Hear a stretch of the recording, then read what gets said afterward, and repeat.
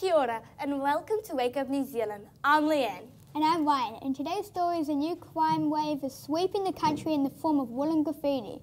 Scientists have invented an invisibility cloak. We help them find it and the latest weather update. But first, if you think the world's getting more and more topsy-turvy, it turns out you're right. Builders in Germany have built an upside-down house which rests on its roof.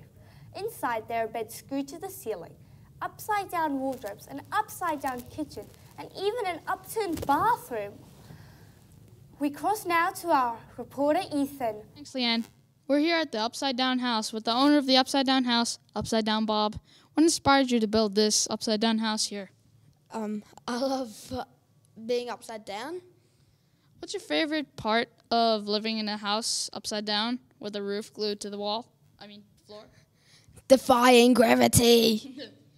Are there any challenges with living in an upside down house? I think there are a few challenges.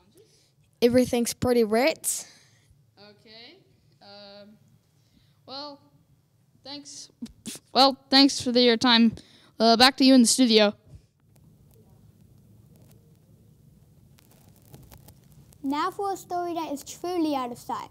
Scientists in Europe have created an invisibility cloak which can hide objects by bending light waves.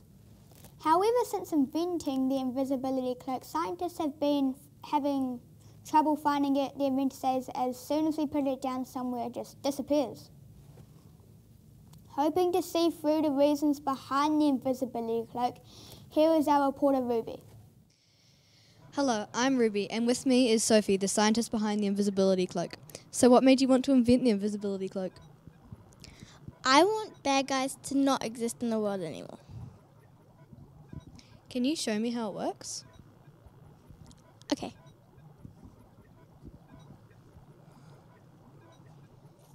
Oh no, where'd she go? Take it off!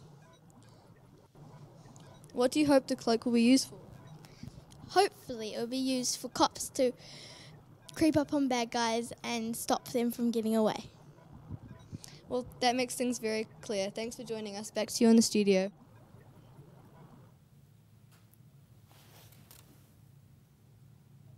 Thanks, Ruby. Next up, there's a new wave of graffiti crime is covering the country, thanks to an underground gang known as the Midnight Knittaz. Without permission, these woolly criminals are covering tree branches and lampposts with jerseys and scarves in the dead of night. Police say we are stitching to their case, but there's no real pattern in the crimes. Exclusive interview. Thanks, Leanne. I'm Amelia, and joining me is a mem- is a member of the Midnight Knittaz gang. Yo yo, Amalia, and thanks for joining us. What led you into the dark world of of knitted graffiti? Well, my grandma mother taught me how to do knitting when I was younger, and I thought of starting a gang with graffiti and knitting. Do you see yourself as a criminal? Why or why not? Yes, because one time I went into someone's house and stole all their wool. Apart from trees and lampposts, what else do you like to graffiti with your woolens?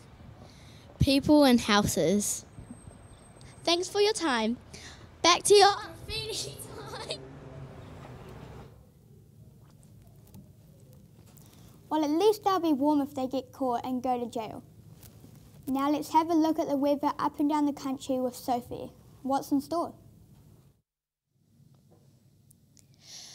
Thanks, Ryan. Let's take a look at tomorrow's weather. In Auckland, there'll be a mix of fair conditions and unfair conditions, but that's those are the conditions, and you'll just have to accept them. There will be no weather at all for Hamilton. It's taking a short holiday, but it's expected to be back for the weekend.